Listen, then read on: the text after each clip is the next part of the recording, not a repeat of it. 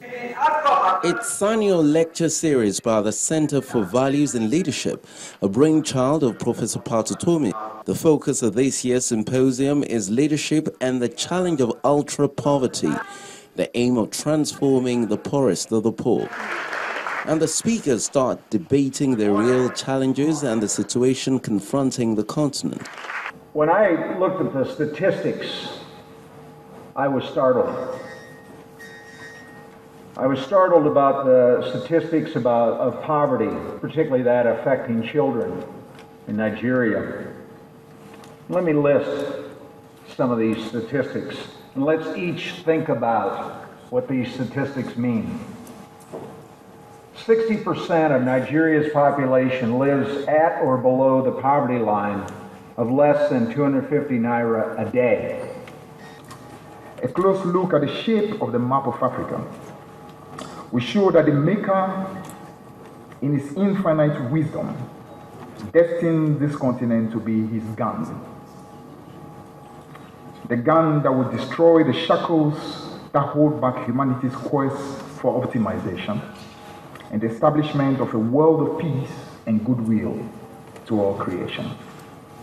Now, if Africa is God's gun, then West Africa is God's trigger.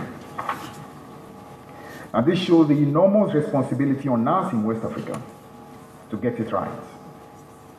Ghana and Nigeria in particular have to know that we owe a duty to the rest of West Africa and the entire continent to leave no stone unturned in our quest to set in motion the sociocultural and economic transformation of Africa. Two of the speakers here are politicians, although they belong to different political parties. But on the subject matter, they seem to agree on ways the nation should go in transforming the poorest of the poor. Education for me is key. Uh, we're not going to fight poverty if we don't address education. And when I say education, I'm talking about fit for purpose education uh, a situation where we continue to have, you know, each time you, you, you get the O level results across the country, then, and you see the number of people that don't pass, what you're seeing is poverty. What you're seeing is a completely warped value system. Poverty is bad. I don't think there's any debate about it. But what is worse and which we suffer from more than the general problem of poverty around the continent and the world is inequality.